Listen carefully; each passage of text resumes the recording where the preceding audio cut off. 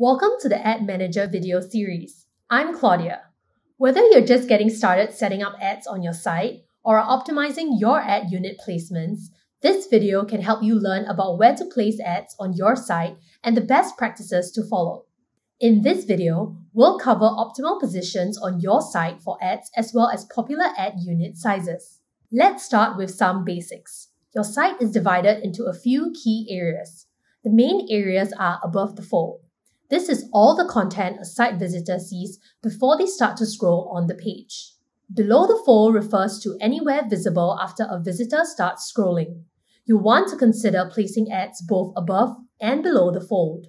Now that you know you're above and below the fold, where exactly should you place ads? There are a few key positions. First are in what we call the rails. These are the spaces on the left and right sides of your page.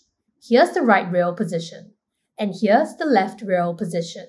When you start placing ads, it's important to use popular ad sizes to make sure you're capturing the most demand from advertisers. Using ad sizes that advertisers prefer can help make your ad inventory more desirable. The most popular sizes for ad units on the right or left rail are typically square or vertical ad sizes. Finally, there are spaces on the top and bottom of your page. We call these the leaderboard position and the anchor position.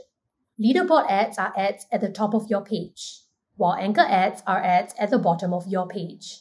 The most popular sizes for leaderboard and anchor ads are typically wide rectangles, but size varies based on desktop or mobile. For desktop, you typically see leaderboards on top. On mobile, you might see anchor ads on top or sticky anchor ads on the bottom, which stay in place as a user scrolls. Too many ad sizes to remember? Don't worry, we've got a Help Center article to help walk you through all the ad sizes and where they're typically used. Scan this QR code with your phone's camera to visit the link and learn more. Now that you know which ad sizes you want to use and the landscape of your site, you might be wondering, why is it important to display ads in optimal locations?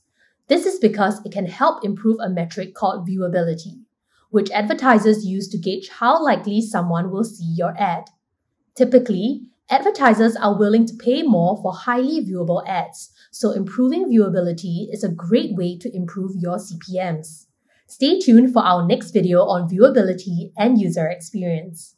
Thanks for watching. For more support, you can find links to our Help Center in the description below.